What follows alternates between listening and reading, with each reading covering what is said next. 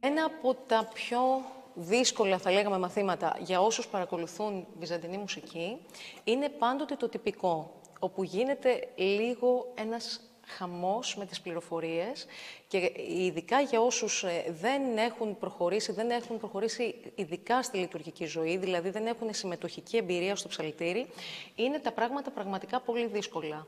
Ε, και ε, είναι ίσως από τα πιο, θα λέγαμε, προκλητικά σημεία στη διαδικασία εκμάθησης της ψαλτικής τέχνης. Πότε επιτέλους κάποιος θα εξοικειωθεί με αυτό που λέμε τυπικό. Έτσι. Λοιπόν, ε, αυτό γίνεται ασφαλώς μετά από πολλά χρόνια και χρειάζεται και μία συμμετοχή στο ψαλτήρι. Εμείς θα ασχοληθούμε σήμερα με το τυπικό, αλλά όχι υπό αυτή την έννοια, δηλαδή των τυπικών λεπτομεριών των ακολουθιών. Θα πάμε λίγο πίσω, θα πάμε ιστορικά στο πώς διαμορφώνεται αυτό που ονομάζουμε τυπικό. Και πρώτα απ' όλα, τι είναι τυπικό; Όταν λέμε τυπικό στην ε, λειτουργική μας ζωή, τι εννοούμε; Τι σκέφτεστε, Πού πάει το μυαλό σας; Ο πατέρας Πυρίδωνα ασφαλώς εξαιρείται, απευθύνομαι κυρίως στις ψαλτηρίες, γιατί ο πατέρας Πυρίδωνα έχει και συμμετοχή στη λειτουργική ζωή, αλλά και ειδικότερη γνώση με τη θεολογική του ε, ταυτότητα. Ε, οπότε θα μας βοηθάει όποτε δυσκολευόμαστε να εντοπίσουμε τις ε, απαντήσεις. Ε, τι, τι εννοούμε τυπικό; Ο τρόπος ε, με τον οποίο εκτελείται η λατρεία. Ωραία. Είναι η τάξη. Πολύ ωραία το είπες. Είναι η τάξη στην ναι. ουσία των ακολουθιών. Η τάξη των ακολουθιών, ε, των καθημερινών ακολουθιών, των κυριακάτικων, των δεσποτικών θεομητορικών εορτών. Γενικότερα όλη η τάξη της λειτουργικής μας ζωής καθορίζεται από το τυπικό. Ε, Βέβαια, ως μάθημα ε, στη θεολογία είναι μάθημα έτσι, του λειτουργικού κύκλου των θεολογικών ε, σπουδών. Τώρα, μία ερώτηση είναι πότε ξεκινάει η ιστορία του τυπικού; Πότε πιστεύετε ότι ξεκινάει και πότε θα λέγαμε, για να βάλουμε κάποια, πριν μπούμε στα, έτσι, στα άδυτα του τυπικού, να βάλουμε κάποια χρονικά ορόσημα. Πότε ξεκινάει και πότε διαμορφώνεται στις πιο βασικές του γραμμές; Μήπως... Ε, ναι, Γεωργία. Ε, μετά την το διάταγμα της ανεξιδρεσκείας, ίσως... Καλά το πας προς τα εκεί, γιατί η αλήθεια είναι ότι σκέφτεσαι ναι. ότι όταν πια εδραιώνεται ο χριστιανισμός, τα πράγματα είναι καλύτερα, αλλά μην ξεχνάμε ότι ο χριστιανισμός ζει και κάτω από τη γη, ήδη από τους πρώτους αιώνες ε, και ήδη ασφαλώς και από την πρώτη εκκλησία των πρώτων χριστιανών. Στα αποστολικά χρόνια, οι πρώτοι χριστιανοί των Ιερουσαλήμων ασφαλώς και έχουν λειτουργικές, θα λέγαμε, ανάγκες. Έτσι, γιατί θα πρέπει, ε, όπως ήταν επόμενο, στη νέα θρησκεία που διαμορφώνεται ήδη από τα πρώτα αποστολικά χρόνια, το πρώτο πράγμα που θα ένωνε τους χριστιανούς είναι να βρίσκονται μαζί, να υμνούν το Θεό, αλλά και τι άλλο να κάνουν, να κοινωνούν σώμα και αίμα, την ευχαριστία που ήταν το σημαντικότερο, ο σημαντικότερο συνεκτικός δεσμός, μαζί με τι άλλο που ακολουθούσε τη Θεία Ευχαριστία. Τα δείπνα της αγάπης, της αγάπες. Έτσι. Άρα λοιπόν ε, θα λέγαμε εν συνόψη ότι το τυπικό ε, διαμορφώνεται ήδη από τους πρώτους αποστολικούς χρόνους και η διαμόρφωσή τους στις βασικές όμως γραμμές, στις βασικές, είναι περίπου τον 1ο αιώνα την εποχή των οικονομαχιών. Και βάζουμε αυτό το ορόσημο γιατί στην ουσία μετά από αυτό το ορόσημο έχουμε μία επικράτηση του λεγόμενου μοναστηριακού τυπικού έναντι του ασματικού. Ξέρουμε τι σημαίνει μοναστηριακό και ασματικό και με ποιες, θα λέγαμε, περιοχές, ονόματα σημαντικών τόπων έχει συνδυαστεί. Δηλαδή το μοναστηριακό, πώς αλλιώς θα το λέγαμε; Το, το, το, το ιεροσολυμητικό τυπικό, θα λέγαμε ότι είναι περισσότερο το μοναστηριακό, με αυτό ταυτίστηκε. Και το ασματικό, το λεγόμενο, το οποίο τι σημαίνει ασματικό, πατέρας Σπυρίδων να μας βοηθήσει. Πιο, πολλά, πιο πολύ ύμνη, πιο πολύ ύμνη και πιο πολλά αντίφωνα. Το οποίο και ήταν για τους ενοριακούς ναούς, για τις ανάγκες των ενοριακών ναών. Γι' αυτό το τυπικό που ακολουθούμε στις ενορίες μας το λέμε ασματικό, γιατί έχει περισσότερα ψαλσίματα. Έχει, έχει, έχει ψάλματα μέσα, ενώ το μοναστηριακό έχει περισσότερο εμελείς αναγνώσεις. Έτσι. Ε, οπότε μετά την οικονομαχία, επειδή είχε επικρατήσει τότε και το μοναστηριακό φρόνημα, και στη λειτουργική ζωή επικράτησε το μοναστηριακό τυπικό. Και έπρεπε να περάσουν χρόνια για να γίνει, θα λέγαμε, μια συγχώνευση αυτών των δύο. Και εδώ ίσως θα πρέπει να μνημονεύσουμε μια σπουδαία μορφή ως προς αυτό το ζήτημα της μεταρρύθμισης της λειτουργικής στον Άγιο Σιμεών των Θεσσαλονίκης ο οποίος έκανε μια σπουδαία μεταρρύθμιση, μιλάμε για 15ο αιώνα πια, όπου στην ουσία προσπαθεί, ε, βέβαια σε τοπικό επίπεδο, στο επίπεδο της Θεσσαλονίκης, της επιχώριας επισκοπής του, να εφαρμόσει ε, και να ε, επαναφέρει το ασματικό, το οποίο είπαμε μετά την οικονομαχία, είχε λίγο είχε περάσει σε δεύτερο ρόλο και είχε παραμείνει, όπως λέει ο ίδιος, μόνο στην Βασιλεύουσα, μόνο στην Αγία Σοφία ψαλόταν το ασματικό και προσπάθησε να το επαναφέρει βάζοντας και κάποια στοιχεία μοναστηριακού. Θα, ε, θα λέγαμε έκανε μια σύνθεση αυτών των δύο. Έτσι. Άρα γι' αυτό λέμε, επανερχόμαστε στην βασική μας απάντηση στο ερώτημα πότε διαμορφώνεται το τυπικό. Διαμορφώνεται από τους αποστολικούς χρόνους μέχρι τον 1ο αιώνα στις βασικές μορφές, στις βασικές γραμμές του, αλλά ασφαλώς και μετέπειτα θα λάβει πάρα πολλές λειτουργικές μεταρρυθμίσεις. Έτσι. Να φτάσουμε, μέχρι να φτάσουμε σήμερα που λέμε ότι ακολουθούμε πιο τυπικό. Ε, καταρχάς, το, ναι, το τυπικό μας που βασίζεται στο τυπικό, το, το τυπικό της Μεγάλης του Χριστού Εκκλησίας, στην ουσία, πώς το λέμε, του βιολάκι, το τυπικό του βιολάκι του 1888. Θα δούμε πώς φτάνουμε μέχρι εκεί. Δεν σε άκουσα, Γεωργία μου; Ναι, ε, όλο αυτό θεωρείται, δεν, δεν το έχουμε σαν βυζαντινό, δεν το λέμε έτσι ακριβώς, αλλά λέμε ότι είναι το τυπικό του βιολάκι στην ουσία, το οποίο ναι, ακολουθεί το βυζαντινό πρότυπο, όπως διαμορφώθηκε στην ουσία μετά τις μεταρρυθμίσεις στην Κωνσταντινούπολη. Έτσι θα τα δούμε όμως αυτά εν καιρό. Κάνουμε έτσι μια ένα κάδρο, να δούμε πού βρισκόμαστε. Έτσι. Πάμε πάλι πίσω. Πάμε στους πρώτους αιώνες, γιατί είναι πολύ ενδιαφέρουσα περίοδος, γιατί είναι η εποχή που πραγματικά έχει ξεσπάσει η σπίθα είναι η πρώτη σπίθα και αρχίζει να διαμορφώνεται το πρώτο ρεύμα του χριστιανισμού. Είναι πολύ ενδιαφέρον να δούμε εκείνοι οι άνθρωποι πώς βιώνουν τη λειτουργική ζωή. Από την οποία εμείς σήμερα έχουμε κάποια σημεία, τα οποία τα έχουμε κρατήσει, αλλά ασφαλώς έχουν πάρα πολλά φύγει. Πάμε να δούμε λοιπόν εκείνη την πρώτη εποχή, εάν έχουμε τυπικά, ως βιβλία, ως ολοκληρωμένες ε, βάσεις, ολοκληρωμένες θεωρίες που έδιναν στους πρώτους χριστιανούς πληροφορίες για το πώς να τελούν τις ακολουθίες τους. Έχουμε; Όχι. Δεν, γενικά από τους πρώτους αιώνες είναι πολύ λίγες οι μαρτυρίες που έχουμε.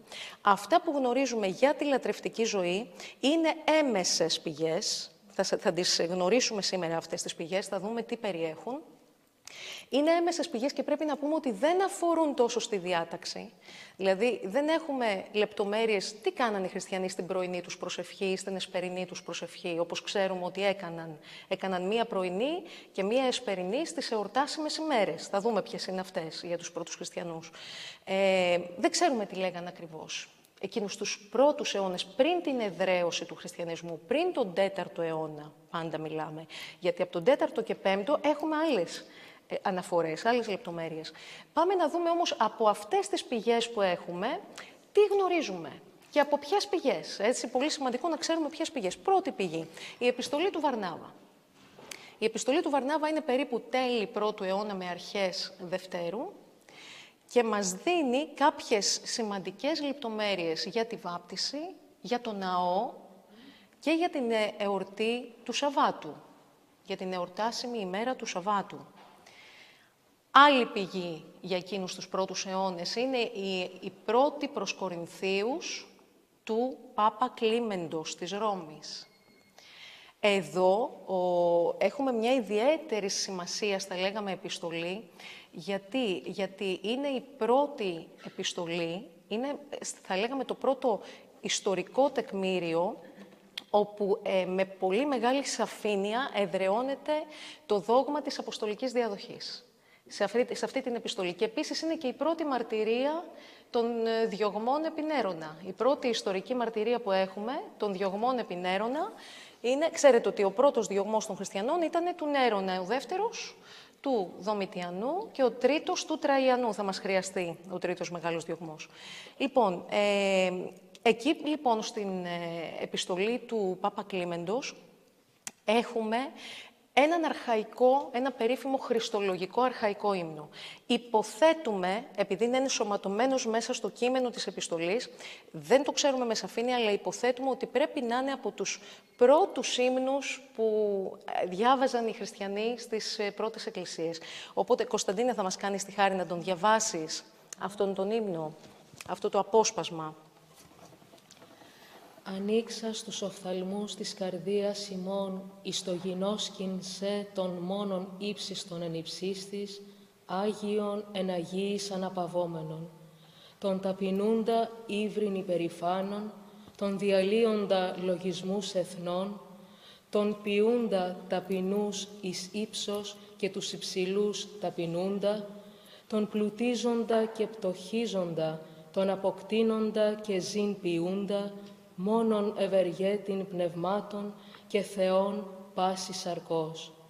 Τον επιβλέποντα εν της αβύσης, τον επόπτην ανθρωπίνων έργων, των των κινδυνευόντων βοηθών και των απελπισμένων σωτήρα, τον παντός πνεύματος κτίστην και επίσκοπον, τον πληθύνοντα έθνη επιγής και εκ πάντων εκλεξάμενων τους αγαπώντασε δια Ιησού Χριστού, του ηγαπημένου παιδόσου, διού επέδευσας, υγεία σας, ετοίμησας. Αυτός εδώ, όπως βλέπετε, είναι ένας ύμνος ο οποίος έχει κάποια στοιχεία, έχει κάποιους όρους, κάποιες έννοιες που τους βλέπουμε ε, αργότερα σε προσευχές της λατρείας και ειδικά των λειτουργών. Έτσι δεν είναι στις ευχές. Και βλέπουμε και πολλούς, έχουμε και άλλα τέτοια αποσπάσματα. Αυτό είναι ένα χαρακτηριστικό αρχαϊκού ύμνου από την επιστολή του Πάπα Κλίμαντος ε, της Ρώμης. Ευχαριστούμε πολύ Κωνσταντίνα. Άλλη πηγή, άλλη πηγή από την οποία λαμβάνουμε πληροφορίες για το πώς είναι αυτή η λειτουργική τάξη των πρώτων χριστιανών. Είναι ο Ποιμένας του Ερμά. Ένα πολύ ιδιαίτερο κείμενο, ένα πολύ ιδιαίτερο κείμενο, ο Ποιμένας του Ερμά, ε, του Δευτέρου αιώνα, που έχει, ανήκει στην ιδεοχριστιανική ε, γραμματεία.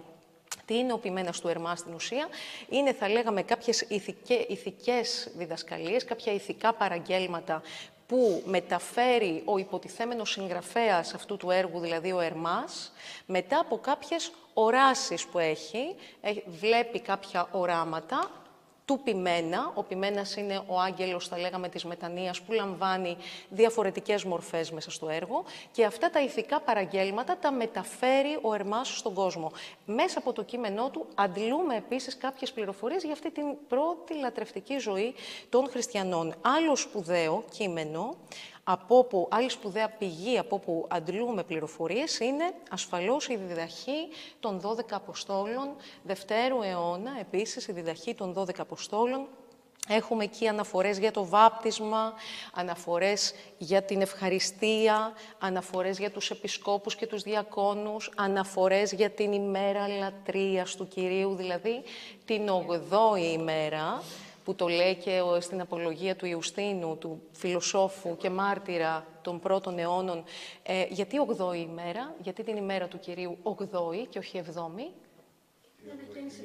Για την ανακαίνιση των πάντων. Ακριβώς είναι όπως λέμε η 25η ώρα, 25η ώρα που ξεκινάει η αιωνιότητα, έτσι.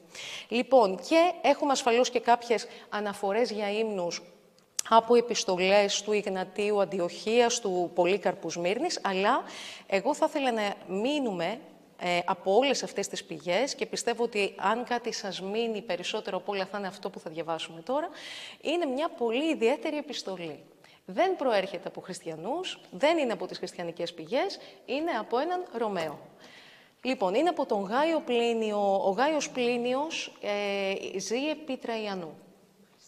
Έτσι, ε, αυτός ήταν ε, ε έπαρχος, ε, είχε μάλιστα το αξίωμα του υπάτου στη Βυθινία. Ήταν, φανταστείτε την εποχή εκείνη, κάτι σαν δικηγόρος και μάλιστα ε, τον γνώριζαν για την ευγλωτία του, για το ρητορικό του χάρισμα. Ε, παρολίγων να μην πάρει ποτέ αυτό το αξίωμα, παρολίγο να φύγει από τη ζωή πριν πάρει το αξίωμα, γιατί έναν αυτοκράτορα πριν, δηλαδή το Δομητιανό, σε, αυτόν τον διωγμό, ε, υπήρχε το εξής με αυτόν τον αυτοκράτορα, ότι δεν τα είχε βάλει μόνο με τους χριστιανούς, αλλά και με τους στοικούς. Ε, όσοι ήταν στοικοί ήταν στον ίδιο κατάλογο με τους χριστιανούς. Που σημαίνει ότι ο Πλίνιος, επειδή είχε ιδιαίτερη αγάπη στους στο, στοικούς και είχε επηρεαστεί από αυτούς, είχε καταγραφεί το όνομά του σε αυτόν τον κατάλογο. Παρολίγο λοιπόν, αν δεν έφευγε εγκαίρος από τη ζωή ο Δομητιανός, ποτέ να μην έφτανε επί Τραϊανού και να πάρει το αξίωμα του ε, ε, υπάτου. Ο Πλίνιος λοιπόν τι κάνει; Στέλνει συνεχώς επιστολές στον Τραϊανό, οι οποίες έχουν περισσωθεί. Ξέρουμε την αλληλογραφία τους και ο Τραϊανός απαντά, όπως έκανε κάθε έπαρχος της εποχής. Και μάλιστα στέλνει επιστολές οι οποίες δεν είναι μόνο για σημαντικά ζητήματα, είναι και για σήμαντα ζητήματα. Και αυτό δείχνει και πόσο συγκεντρωτικός ήταν ο Τραϊανός. Δηλαδή έβαζε τους επάρχους να στέλνουν ε, ε, ε, διευκρινήσεις, να ερωτήματα διευκρινήσουν, ακόμα και για τα πιο επουσιώδη ζητήματα. Ένα λοιπόν από τα ζητήματα, αλλά όχι επουσιώδες, ήταν το θέμα των χριστιανών. Τι θα κάνω με τους χριστιανούς; Δεν ξέρω πώς να τους αντιμετωπίσω. Ήτανε, ας το πούμε, το, το βασικό περιεχόμενο. Δεν ξέρω ποια είναι η διαδικασία, τι ακολουθείται ως διαδικασία για την δικαστική τους αντιμετώπιση.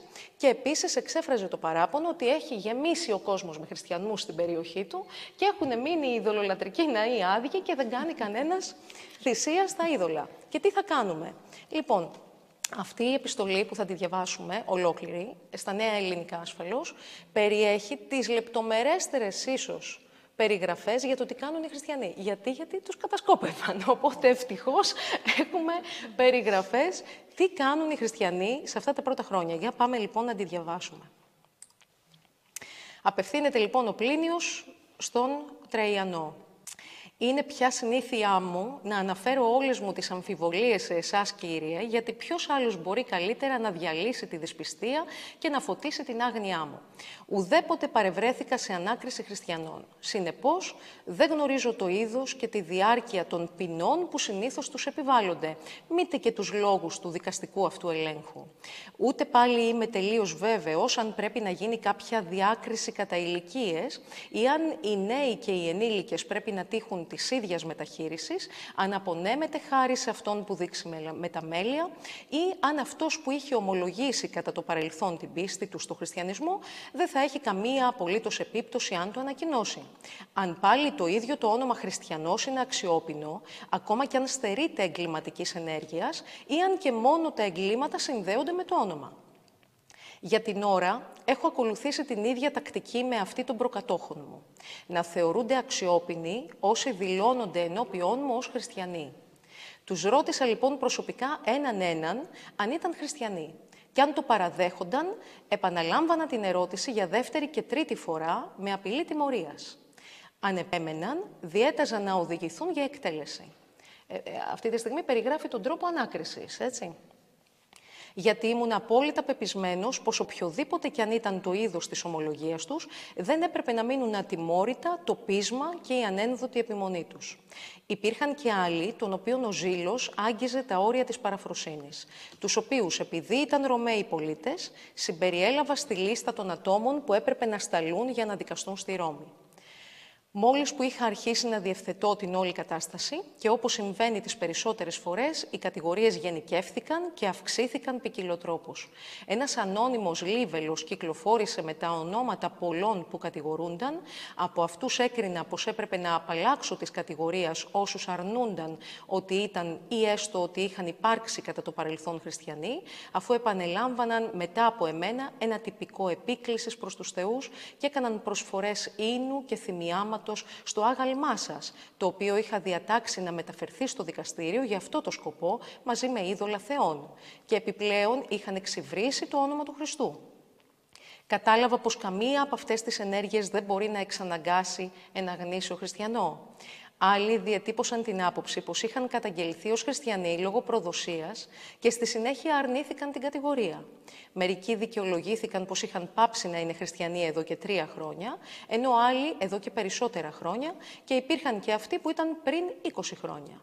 Όλοι τους πάντως εξεδήλωσαν την ευσέβειά τους προς το άγαλμά σας και τα είδωλα των θεών, όπως και οι άλλοι, και εξύβρισαν το όνομα του Χριστού. Δήλωσαν επίσης πως η ενοχή ή έστω η πλάνη τους συνοψιζόταν στο εξής, ότι δηλαδή συνήθιζαν να συγκεντρώνονται σε καθορισμένη μέρα πριν την αυγή για να ψάλουν άσματα εναλλάξ μεταξύ τους προς τον Χριστό, σαν να ήταν Θεός. Και για να δεσμευτούν επίσης με ιερό όρκο, όχι για εγκληματικό σκοπό, αλλά κυρίως για να απέχουν αποκλοπή, ληστεία και μοιχεία, και για να μην αθετήσουν την πίστη τους και αρνηθούν να καταθέσουν ομολογία πίστεως σε περίπτωση που κατηγορηθούν.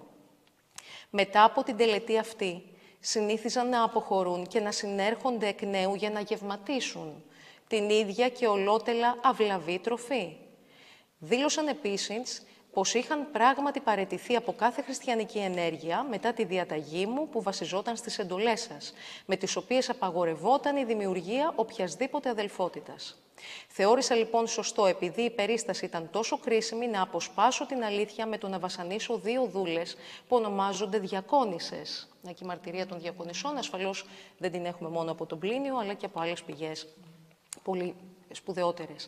Δεν προέκυψε τίποτε το μεπτό, εκτός από μια εκφυλισμένη και παρατεταμένη δυσιδαιμονία. Γι' αυτό λοιπόν ανέβαλα στο εξής κάθε ανάκριση και βιάστηκα να ζητήσω τη συμβουλή σας. Νομίζω ότι η ερώτησή μου αξίζει τον κόπο για να αποκαλυφθεί το αλάθητο της κρίσης σας, ειδικά σε περιπτώσεις που διατρέχει κίνδυνο ένας μεγάλος αριθμός ανθρώπων. Διότι πολλά άτομα κάθε ηλικίας και τάξης, άντρες και γυναίκες, παραπέμπονται σε δίκη. Και αυτό ενδέχεται να συνεχιστεί, όχι μόνο στις πόλεις, αλλά και στα χωριά και στις αγροτικές περιοχές, όπου έχει εξαπλωθεί το μίασμα αυτής της δυσιδαιμονίας. Νομίζω, ωστόσο, πως όλα αυτά είναι ακόμα δυνατό να αναχαιτιστούν και να διορθωθούν, γιατί δεν υπάρχει καμία αμφιβολία πως οι άνθρωποι έχουν αρχίσει να σειραίουν στους ναούς, ερημωμένους εδώ και πολύ καιρό, εννοεί τους ειδωλολατρικούς, και οι ιερές τελετές που είχαν απαγορευτεί από τον νόμο για αρκετό χρονικό διάστημα, τώρα επιτελούνται ξανά και σάρκα θυμάτων για θυσία πωλείται παντού, παρόλο που μέχρι πρόσφατα πολύ σπάνια ήταν δυνατό να βρεθεί αγοραστής. Από αυτό λοιπόν είναι εύκολο να συμπεράνει κανείς πως πάρα πολλοί άνθρωποι μπορούν να επανέλθουν στο σωστό δρόμο αν τους δοθεί μια ευκαιρία να μετανοήσουν. Αυτή είναι η επιστολή του Πληνίου.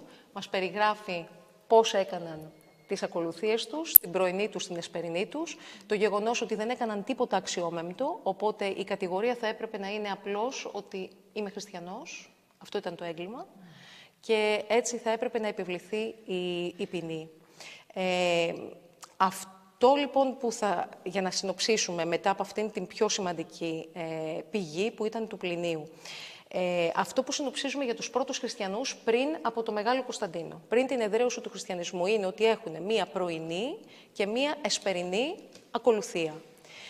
Από τις λοιπές πηγές που έχουμε, καταλαβαίνουμε ότι στην πρωινή και στην εσπερινή είχαν κάποιες κοινές ευχές, οδές, ευχές υπέρ των πιστών, υπέρ ολόκληρου του κόσμου, ψαλμούς ασφαλώς, οι ψαλμοί είναι πάντοτε μέσα στο πλαίσιο της λειτουργικής ζωής, ειδικά των πρώτων χριστιανών, μέχρι και σήμερα βέβαια, έτσι. Ε, και ειδικά τώρα στον Εσπερινό έκαναν τη Θεία Ευχαριστία. Όπως μας ε, το διασώζει και ο Πλήνιος, μαζί με τη Θεία Ευχαριστία ήταν η, τα δείπνα της αγάπης. Αργότερα όμως, τα δείπνα της αγάπης μεταφέρθηκαν, ε, μάλλον δεν μεταφέρθηκαν τα δείπνα, τα δείπνα άρχισαν να εξαλείφονται. Αυτό που μεταφέρθηκε ήταν η Θεία Ευχαριστία. Η Θεία Ευχαριστία από εσπερινή έγινε πρωινή. Γιατί, όπως ξέρετε. Για να μην ε, κάνουν κατάχρηση ίσως ε, του, της τροφής ή ε, τον, του ποτού ή τους... Ε, ίσως μπορώ να καταλάβω πού περίπου, τι, τι περίπου έχει στο μυαλό σου. Ε, σχετίζεται περισσότερο με κάποια συνήθεια των Ρωμαίων που θέλουν να αποφύγουν. Μήπως έχετε υπόψη σας. Όταν έγινε αυτή η μεταφορά της Θείας Ευχαριστίας στην πρωινή ακολουθία και όχι στη βραδινή, αυτό έγινε περίπου το δεύτερο αιώνα. Ε, όταν έκαναν τη βραδι, τις βραδινές αγάπες, την ίδια περίπου ώρα, να το πούμε έτσι, γίνονταν ε, κάποια οργιαστικά δείπνα από τους Ρωμαίους. Και δεν ήθελαν να ταυτιστούν αυτά που έκαναν οι χριστιανοί με αυτό το έθιμο. Οπότε απέσπασαν τη Θεία Ευχαριστία και την πήγαν την πρωινή, ε, στην πρωινή ώρα. Αυτό αυτομάτως όμως εύθυνε την αξία των, ε, το, του δείπνου της αγάπης. Γιατί η αγάπη δεν είχε νόημα χωρίς την ευχαριστία. Η αγάπη γινόταν συνδεδεμένη με την ευχαριστία και μέσα σε αυτή τη διαδικασία του δείπνου υπήρχε μια πολύ ξεχωριστή στιγμή, η ευλογία του φωτός, όπου μεταφερόταν η λιχνία στο τραπέζι του δείπνου και εκεί λεγόταν το φως ηλαρών, ο αρχαιότερος ύμνος. Και στη συνέχεια, όταν έγινε αυτή η μεταφορά, το φως ηλαρών παρέμεινε στα Εσπέρας, αλλά η Θεία Ευχαριστία πήγε πρωί, οι αγάπες έφθηναν και αντί για τις αγάπες είχαμε κάτι άλλο με την παρέμβαση του Αποστόλου Παύλου, είχαμε τη λογία. Τη λογία ως φιλανθρωπία πλέον. Η λογία ήταν δηλαδή να δίνεται τροφή, ε, βοήθεια στους εμπερίστατους, που οι εμπερίστατοι εκείνη την εποχή, ειδικά μες στις χριστιανικές κοινότητες, ήταν τα ορφανά και οι χείρες. Οπότε οι αγάπες, τα λέγαμε, στη συνέχεια μετατράπηκαν σε λογία η οποία γινόταν το πρωί μετά τη Θεία, τη θεία Ευχαριστία ακριβώς. Έτσι. Ε, για να κλείσουμε αυτή την ενότητα της πρώτης περίοδου, πριν την εδραίωση του χριστιανισμού, ε, να απαντήσουμε και στο ερώτημα πού γίνονταν αυτές οι ακολουθίες από τους πρώτους χριστιανούς των Ιεροσολύμων. Πού γινόταν η πρωινή, πού γινόταν η εσπερινή. Μιλάμε πάντα για τους χριστιανούς των Ιεροσολύμων. Η πρωινή ήταν στο ναό του Σολομώντα και η βραδινή ήταν στα σπίτια. Εκεί που γινόταν η ευχαριστία ήταν στο υπερόν των σπιτιών. Έτσι, εκεί γινότανε. Και ποιες ήταν οι εορτάσιμες ημέρες, και με αυτό θα κλείσουμε αυτή την πρώτη ενότητα. Ποιες ήταν οι εορτάσιμες, είπαμε πριν ότι ε, έκαναν πρωινή και εσπερινή προσευχή οι πρώτοι χριστιανοί κατά τις εορτάσιμες, λέμε, ημέρες. Ποιες ήταν για τους πρώτους χριστιανούς οι εορτάσιμες, Σαφώς καταλαβαίνουμε ότι αποκλείεται να είχαν την πολυπλοκότητα που έχουν οι, σήμερα οι εορτές μας. Ήταν πολύ πιο απλά. Τι φαντάζεστε ότι το αίσθηκτό σας που σας οδηγεί να πείτε ότι αυτή πρέπει να ήταν η πρώτη ημέρα που σίγουρα θα κάνανε η Κυριακή, η Γεωργία. Ναι, ναι. Η Κυριακή, η, για να γιορτάσουν το, το, το γεγονός της Ανάστασης, που ήταν, αυτό, που ήταν ο συνεκτικός δεσμός της θρησκείας, γιατί χωρίς Ανάσταση δεν υπάρχει χριστιανισμός. Δεν έχει νόημα.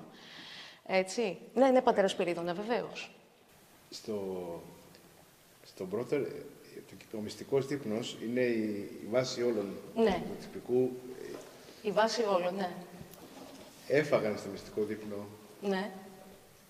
ο Κύριος και οι Απόστολοι και μετά παρέδωσε το λάβετε, φάγετε, πίετε εξ Ασφαλώς, έτσι. Προηγήθηκε το γεύμα. Το γεύμα. Και μετά έγινε η ευχαριστία. και μετά έγινε η ευχαριστία. Το πρώτο καιρό, τον πρώτο αιώνα, έτσι γινόταν. Έτσι γινόταν, πολύ σωστά.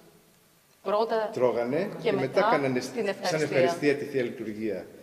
Και φαγωμένοι... Ε... Κατά το πρότυπο της, ε, της Μεγάλης Πέμπτης, λοιπόν, του γεγονότος της Μεγάλης Πέμπτης του Υπερό. Και φαγωμένοι στην ουσία ε, κοινωνούσαν, το οποίο μετά αυτό όμως, επειδή πληθύνθηκαν οι χριστιανοί, mm γίνεται κατάχρηση και πολλές φορές πίνανε και στο, στο Με το αποτέλεσμα της, της παρενέργειας όλου αυτού του γεγονότος. Σωστά, σου να τους έχουμε σε μια κατάσταση Το βάλανε μετά το. Πολύ ωραία. Έτσι. Το βάλανε μετά. Ευχαριστούμε πάρα πολύ για την πληροφορία, πατέρα Σπυρίδωνα. Πάρα πολύ σωστά. Ε, άρα, ε, τι έχουμε μείνει; Α, είπαμε την Κυριακή, αλλά δεν είπαμε για τις υπόλοιπες, πότε ήρθανε. Λοιπόν, η πρώτη μας ημέρα για τους πρώτους χριστιανούς είναι η Κυριακή. Σιγά-σιγά, σταδιακά, έχουμε ε, τις υπόλοιπες μεγάλες εορτές, ξεκινώντας πρώτα από μία επέτειο μνήμης του Σταυρικού Θανάτου του Χριστού. Αυτό που θα λέγαμε σήμερα Μεγάλη Παρασκευή, μαζί με την ημέρα την ετήσια για την Ανάσταση, όπως έχουμε και σήμερα την Κυριακή του Πάσχα. Και μετά, σταδιακά, είχαμε τα Θεοφάνεια που ήταν αρχαιότερη, τα Επιφάνεια ακριβώς. Έτσι, ήταν αρχαιότεροι τότε από τα Χριστούγεννα και ήταν συνδεδεμένες αργότερα ε, διαχωρίστησαν και την Ιπαπαντή. Και από το δεύτερο αιώνα ξεκινούν και οι εορτές για τους μάρτυρες. Νομίζω ότι σχεδόν με πολύ σύντομο τρόπο, αναγκαστικά είναι πολύ περισσότερες οι πληροφορίες, αλλά έχουμε καλύψει όλο το πρώτο κομμάτι των πρώτων τουλάχιστον τριών αιώνων των χριστιανών.